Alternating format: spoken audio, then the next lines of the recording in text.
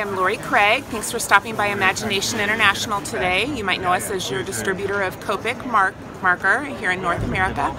Um, we are at Creativation 2017 and we've got several different new products that we'd like to show you that you can use in your um, Copic work or across many different mediums in your art projects. So the first thing that I wanted to show you is the new nib for your Copic sketch marker. This is the most popular marker body style in North America and that Copic traditionally comes with a super brush nib which you can use for coloring, get a fine tip, and then it also comes with a chisel on the back end. And this is popular because it's a wide, firm tip chisel. A lot of people like to use it for airbrushing. But some people have been very interested in asking for a long time for a smaller, fine tip nib that is more comparable to what's on the Copic original. And so we are very excited at this show to be introducing the swappable sketch fine tip nib.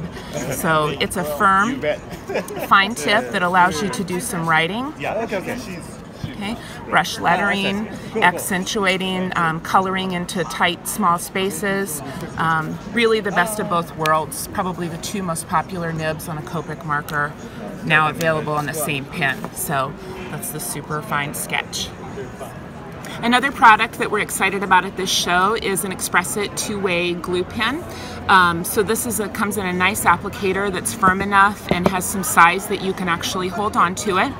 And it has two different applications out of one bottle. The first application of glue is with a nice foam tip so small enough that you can get into some of those smaller die cuts, but the foam that allows it to spread evenly and cover a large bit of real estate um, fairly quickly.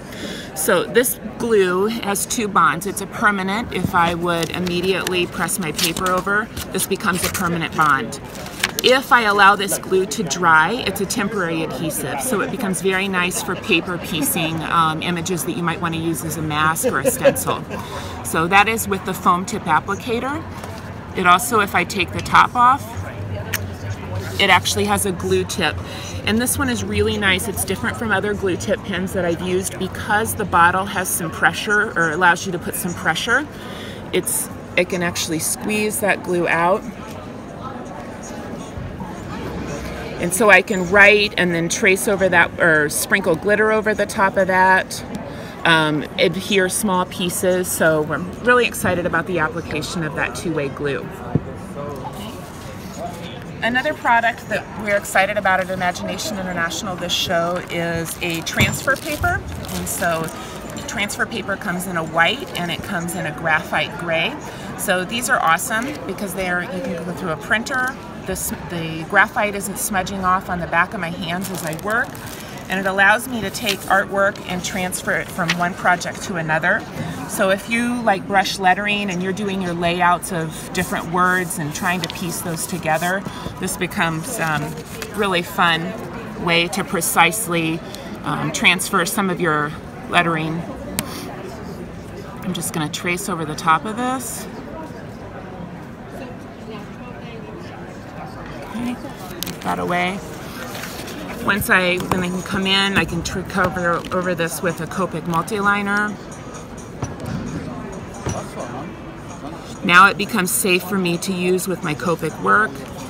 I can still see some traces of that graphite paper, so I just come in with a white gum eraser, clean that up, have more of an authentic um, hand lettering look to it. Yeah.